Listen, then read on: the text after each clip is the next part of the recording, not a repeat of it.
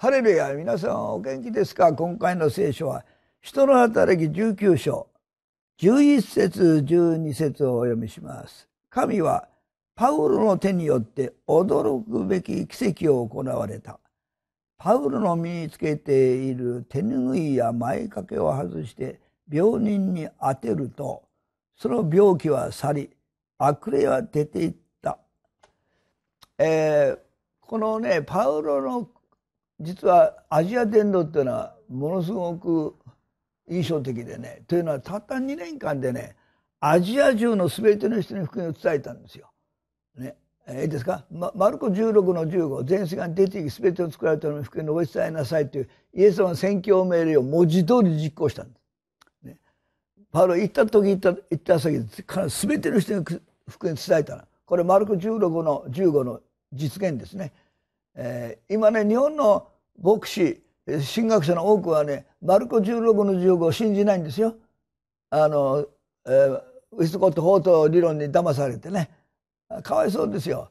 うん、前に話したユダメシナリック中はね新しい聖書を作りましたが英語のねきれいにかっこ外してねきれいな丸ことにしましたよ。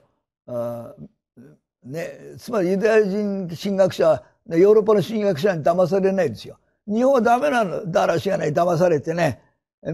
今信じないんですよ。あの、牧師の多くが。マルコ16の15。ね。で、信徒は信じてんだよ。漫画みたいなこと今、日本で起きてますね。神学者、牧師信じないのよ。マルコ16の15。全世界に出ていき、すべての作られた福音、ね、福音の別伝えなさいって。信徒は信じても。こんなことが今起きてるんですよ。ね。これ廃墟って言うんだからね。つまりそのアメリカヨーロッパ勉強に行ってやれって帰ってきてねようこここれを否定する能力ないんだよ。私はひっくり返しましたよ20年研究して、ね、それはエペソで発表したの。まあこれエペソの話なんでこうちょうど。ね、2006年のエペソのアジア会議で、えーね、考古学的証拠並べてウエストコット・フォート理論は間違ってますってね。おみんな立ち上げてスタンディングオベーションでしたよ。わかります？それからね、GN ってえー、ギリシャの聖書編集委員会がウエストコットフォート理論を放棄しましたね。で、皆今信じてるんですよ、これ。本当の学者たちは。ところ日本はまだそこまで行ってないの。ね。アメリカで習った間違ったことをやってね、信憑性ないとか言ってるわけですよ。ね。もうユダヤ人学者は騙されないヨーロッパの学者にね、見事、その、そんな変なこと言うの全部、放り投げてねちゃんと信じてますよだからメシアニカ銃が発行したねコンプリート・ジュイシュ・バイブルっていうのはねマルコ16の15のカッコ外してきれいなマルコ図にしましたよ。ね、えー、そういうことよ。でパウロもほらこれやったんですね。たった2年間でアジアの全ての人に福音伝えた。ユダヤ人もギリシャ人も皆主の言葉を聞いた。いいですか ?10 節えー、人のあたり19章10節これが2年の間続いたので、アジアに住む者は皆、ユダヤ人もギリシャ人も主の言葉を聞いた。ほら。たった2年間でアジア中の人が福音を聞いたんですよ。マルコ16の15の実践だったんです、パウロは。だからパウロはいつもマルコ16の15を実践したんです。全世界に出ていき、すべての作られたものに福音を述べ伝えなさいっていうのをやったんですね。マルコ16の15の実践がパウロの伝道だったんですよ。覚えてきなさい。ね。で、そうで、ね、たった2年間でしかもね、あのアジアに住むのは全てでね、これはね、成長地理って面白いんだけど、大きな小アジアにね、今のトルコの大きさですよ、小アジア。西側にね、トルコ西部、ね、今のトルコの西側、ね、これアジアなんです。大きな小アジアにね、アジアっていう地域あるんだよ。大きなアジアに小アジアあるんじゃないのよ。大きな小アジアに、アジアっていう地域あるね。これ大体韓国の大きさなんだけど、2年間で全て伝えましたね。えー、わかります？なぜこれがそこまで成功したかの理由は次なの。神はパウロの手によって、あのね、19章11節神はパウロの手によって驚くべき奇跡を行われた。パウロの身につけている手拭いや前掛けを外して病人に当てると、その病気は去り、悪霊は出ていった。パウロの宣教は口だけじゃないのよ。ね、癒しも行われた。ね、わかります？これパウロが身につけてるハンカチね、手拭いやなんか触っただけで病気が治ったという奇跡が起きたんですよ。そういうね、福音に伴う印があったんですね。皆さん、あの、ペンテコステ教会は、最も聖書的だって私言いました、先週ね。なんで最も聖書的？神が望んでおられることをやってるから。いつも喜んでいなさい。絶えず祈りなさい。すべてのことについて感謝しなさい。これがキリストイエスにあって、神があなた方に望んでおられることです。ね。天のお父様はクリスチャンに望んでおられることは、いつも喜び、絶えず祈り、すべてのことに感謝する。ね。いいですか？そういうので、喜び、人を感謝が目立つクリスチャンを望んでんですよ。ね。前に話した、ね、日本人はね、クリスチャンって聞くと、ああ、真面目な人。柔和な人ってよく言いますよ。これ、いいことは悪いことじゃない。ね。でもね、いいですか？クリスチャンって日本人の人が聞いたら、ああ、いつも喜んでる人ですね。いつも祈ってる人ですね。いつも感謝してる人ですね。ってなったら大成功だよ。ね。これ神が望んでること。で、だから、こういうわけで、ね、喜び、人、感謝を目立つ、最も目立つ教会はペンテコステですよ。神学だから目立ったってしょうがないんだよ。聖書信仰なんか言ってみそんな目立ったってしょうがないんだよ。ね。喜び、人、感謝を目立たないと。それ神様望んでそれだって言うんだよ。ね。社会派なんか増えたってしょうがないんだよ。ね、そんな目立ったってしょうがないの。ね。喜び、か人、感謝を目立たないとね。えまさにペペンテコスはそれなんそれもう一つ目指すのはね、何ですか？ペンテコステで。癒しですよ。癒し。ね、そういう奇跡。ね。これ目指すんですよ。わ、かります？ね。だから、そういうので、パウロの宣教、アジアにたった2年間でアジア中の人に伝えた。ね。大きな要因の一つは、ね、福音に伴う印としての奇跡が起きたから、癒しが起きたからですよ。ね、それでね、ペンテペンテコステ教会は、いいですか？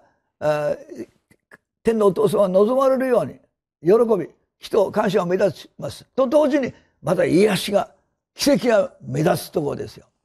あの、私ね、あの、タイに行きました。よく海外に行くんですけど、で、タイに行った時ね、あの、土曜日に着いたんですね。で、明日日曜日だから礼拝守ろう。ね。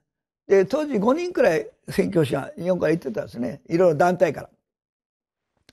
で、私のような立場の者はね、公平に付き合うんですね。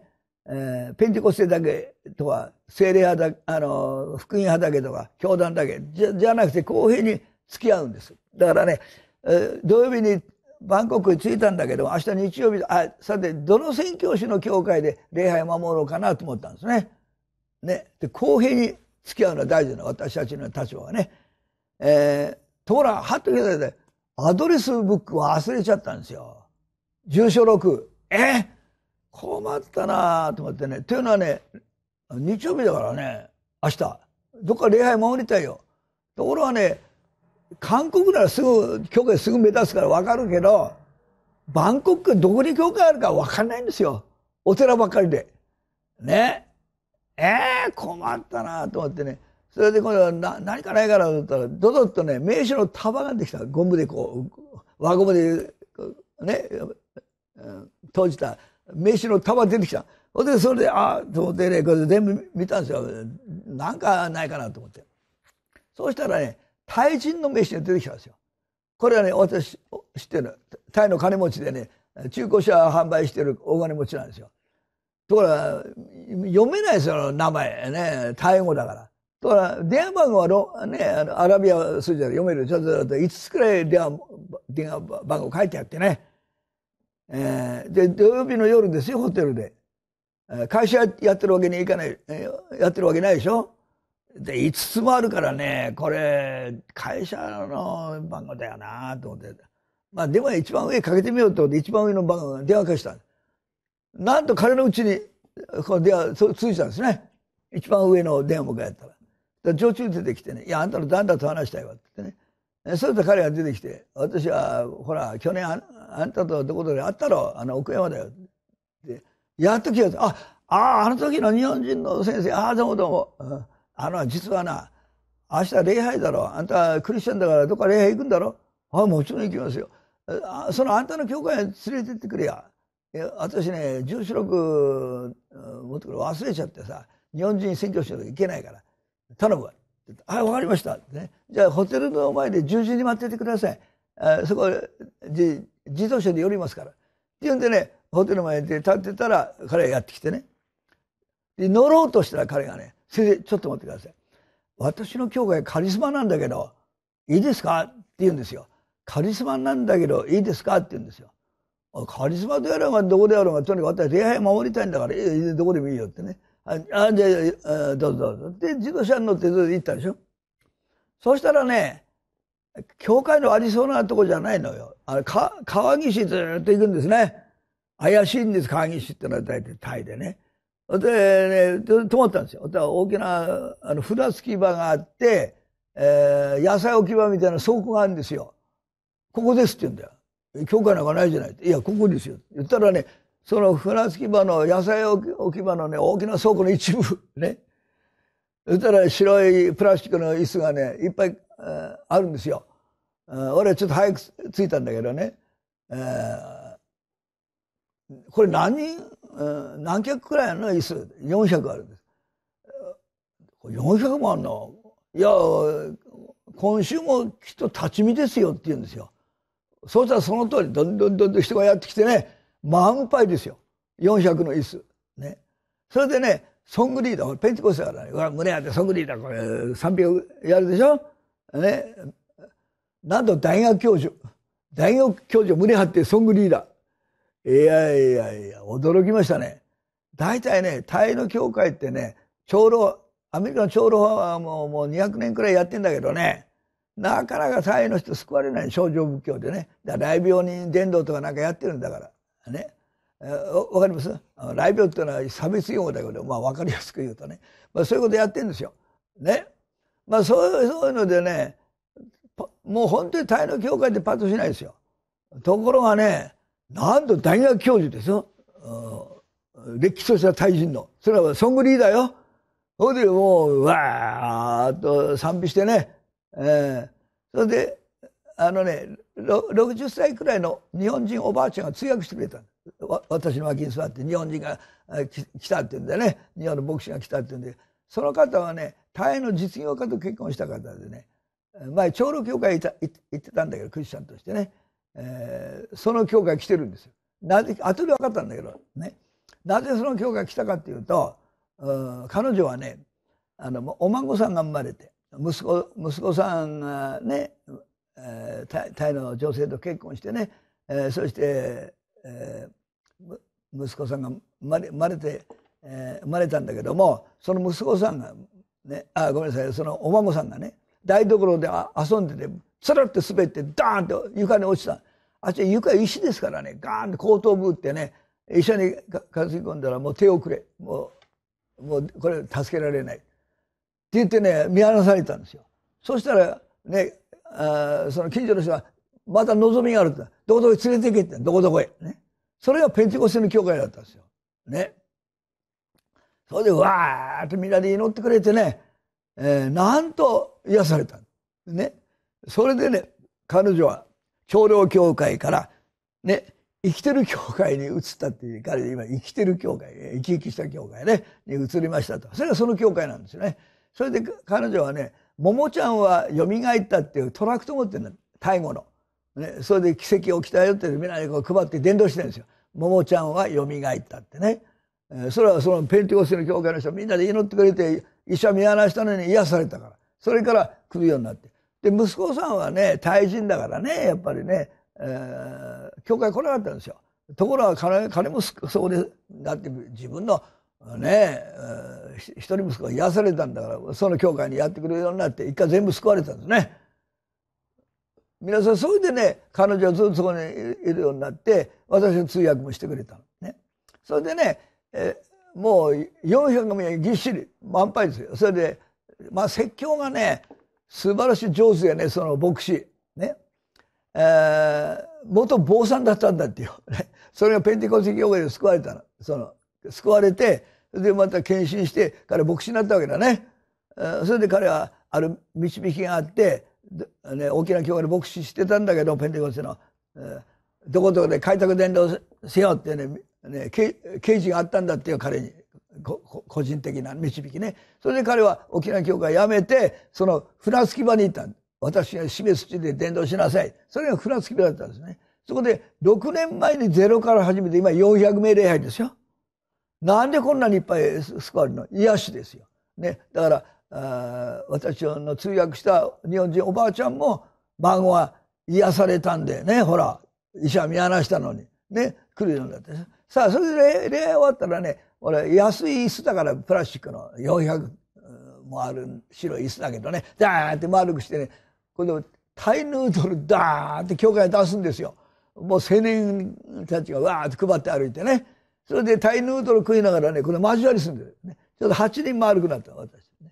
そしたらその通訳してるおばあちゃんが、先生、ま、ま、向かいのおばあちゃんね、このおばあちゃん最近この教会来るようになったんですよ。これはね、奇跡がやっぱ起きたんです。な何の奇跡って言ったらね、あの、お孫さんがね、やはりね、あの、えー、小児橋があってね、どこか、どこの医者に連れててもダメ。そういうフランスに名医がいるってんで、フランスまで行ったそうです。ね。フランスで小児橋治す人がいるってんでね、名医がいる。そこまで行ったそうですよ。で、治んないの。で、帰ってきて、そしたらね、えー、ね、えー、その、おばあちゃんが聞いたどこどこの教会で病気治るよってね。そこで彼女は、その、連れてきたんですよ。そこで癒されたんですよ。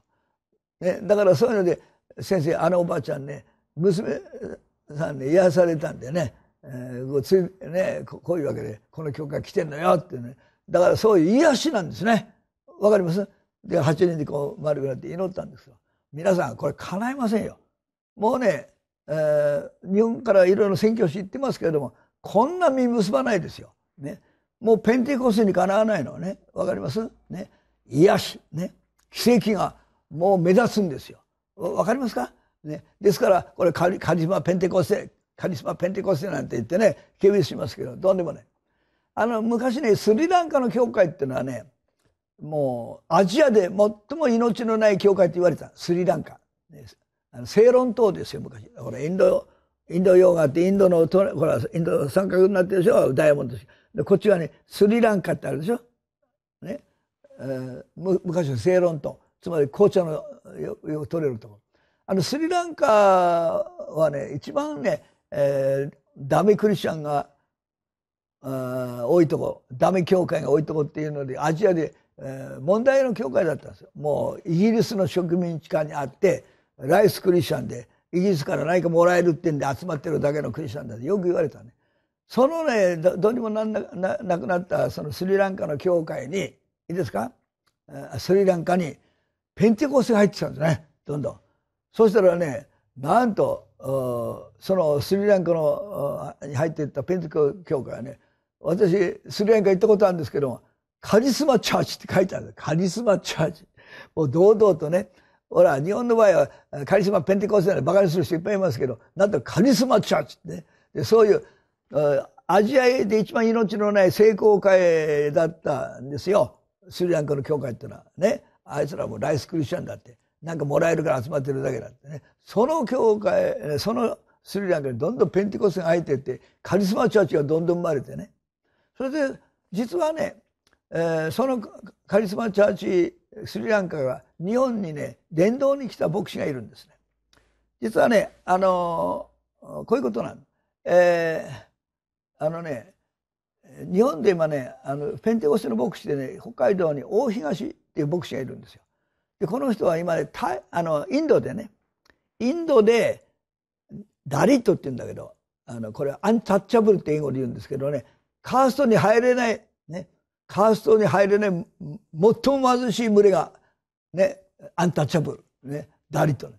そのダリットにね、この大東君はね、このペンテコスの牧師なんだけど、彼はね、毎朝、ね、トラック改造した給水車で水配ってるんです。食料もないが水もないんですよ、ダリットは。ね。だからそこでね、毎朝給水してる。そういう素晴らしい、えー、奉仕をしてるのは大東牧師なんですね。で、これ彼なぜそれを始めたかっていうと、なぜ始めたかっていうとね、えー、彼はね、えー、クリスチャンになって間もなくね、夢見た夢。うん、その鮮やかな夢。それはどういう夢かっていうと、外国のたくさんの子供たち囲まれてる夢なんだって。それで助けてくれ、助けてくれって言ってんだね。そんな夢見たことない、彼はね。あまりにも鮮やかでね、目が覚めてから、いや、助けてくれったって俺外国行ったことないよ。英語もできないよ。ね、どういう意味なんだろうなと思って。でも鮮やかだから覚えてたんですね。それでスリランカから来た牧師が、いいですか？北海道のある教会で集会したんです。そこへ導かれてから行ったんです。説教を聞きにね。で、説教を聞いてたら、そのスリランカから来た牧師が突然説教の途中で、大東君指さして、その青年、ちょっと立ってくださいって言うんだって。これびっくりして立ったでしょ？今あなたにこういう幻が与えられています。あなたは外国の子供たち、外国の子供たちに囲まれて、あなたに助けてくれ、助けてくれって言ってる、言ってます。だからあなたはそれをすべきですって言った。これびっくりした。自分が見た夢と同じこと言ったんですよ。そのスリランカから来た牧師が。彼びっくりしてね、それでから決断した。よし、やろう。ね、で彼、英語できない。外国にも行ったことないんだけども、そそれによって彼立ち上がって、今、インドでね、えー、毎朝、トラック改造した給水車で、ずーっとダリットに水配ってるんですね。それ、えー、そのスリランカの牧師に言われたから。これすごいでしょ？これ、大東君が見た夢ですよ。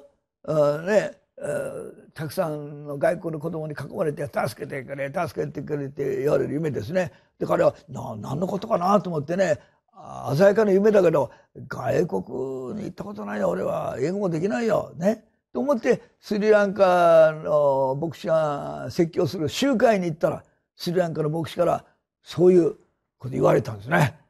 これはねもうペンテコステの牧師しかできないですよ。私そんな才能ないよ。ね。そんな賜物ないですよ。わかります？つまりね、そういう賜物があるんですよ。ペンテコステの牧師には。すごいでしょ、これ。スリランカの牧師。これ、聖霊様の刑事ですね。それで彼は立ち上がって、えー、やることになった。で、なぜこの大東君と私知り合いになったかっていうと、彼が電話かかってきたんですよ。北海道から。先生、実は私こうこうこういう仕事してんだけども、英語のスタッフちょっと足りないんで、あの、先生、ちょっとご相談があるんですけど、出すに行っていいでしょうかって言うから、来なさい来なさい。えー、何月の日、えー、どうせ私出すにおるからね、えー、その来たらどうですか？っていう日にち決めてね、彼待ってたんですよ。で、彼は北海道からね、飛行機で飛んでね、いいですか？今度は羽田から、羽田着いたり、それから新幹線に乗り換えて、那須までやってきたんですよね。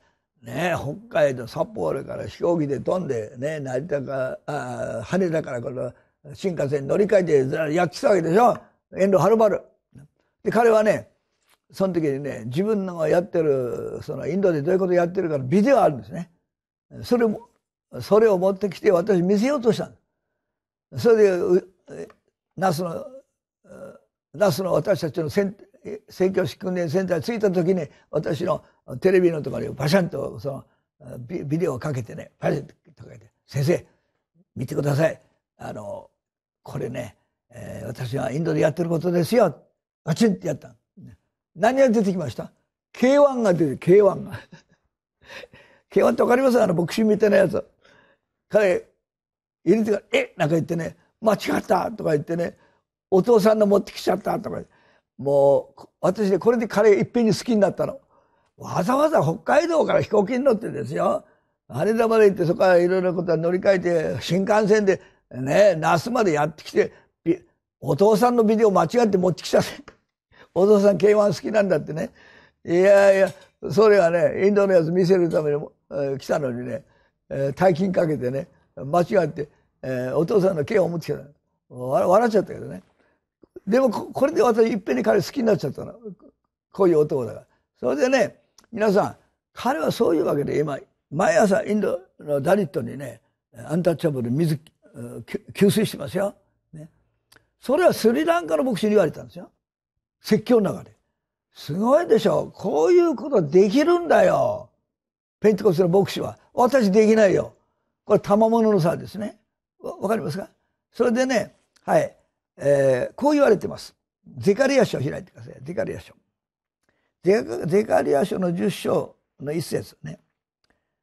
ゼカリア書の10章の一節。はい、読みますよ。後の雨の時に主に雨を求めよ。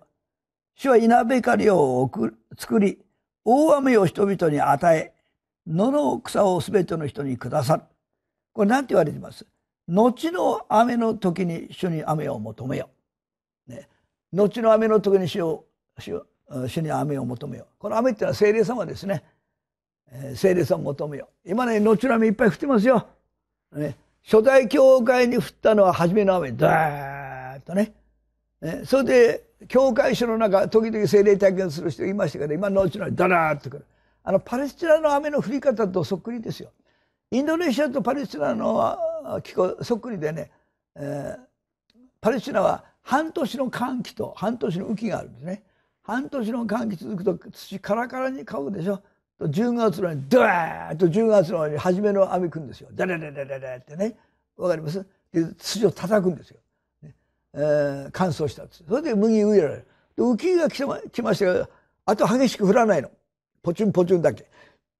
そして3月の終わりにまたうわーって後の雨が来て激しい雨が来て麦がしっかり実結んで刈り取りになる教会史も同じなんですよ。ダーッと初代教会雨降ったでしょあれ初めの雨なんですよね。使徒行で2章ね、えー、初めの雨降ったでしょ。ね、それずっとね教会史は精霊時代なでもあんまり激しく降らない。でね3月のにダーッと降るように今やね今や。ずっと教会して続いて今やドワーって後のみ降ってんですよ。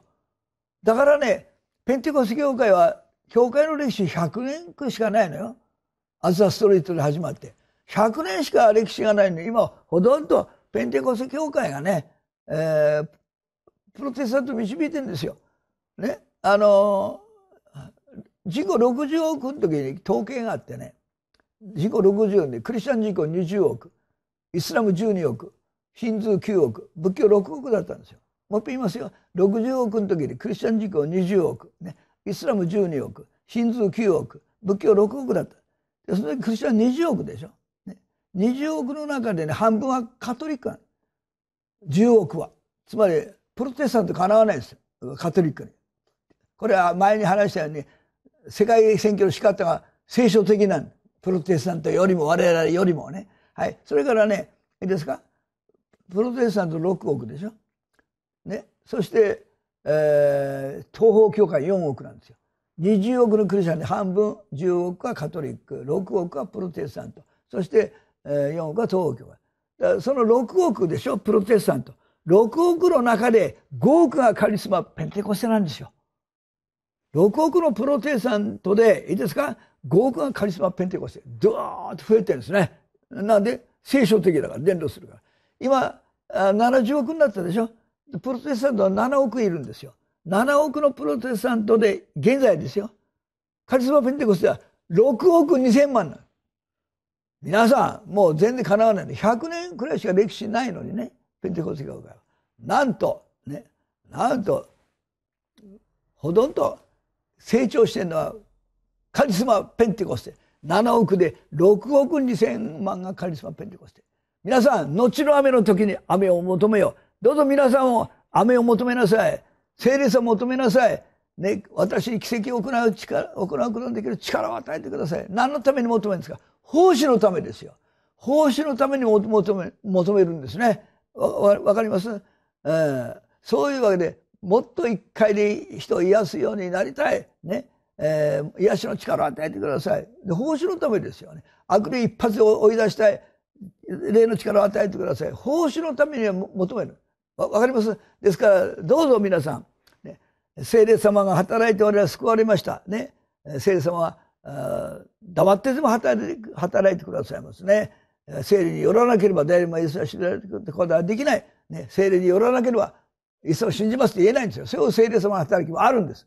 と同時に求めて与えられる聖霊様の恵みがあるんですね。後の雨の時に雨を求めよう。皆さんもどうぞ聖霊様を求めて、癒しの力を与えられて、悪霊を力を与えられて、多くの人の救いのために解放のために用いられますように、このテレビをそのために用いられたら幸いであります。お祈りいたします。天の父を感謝します。こうして今宵もイエス様の別がいることができました。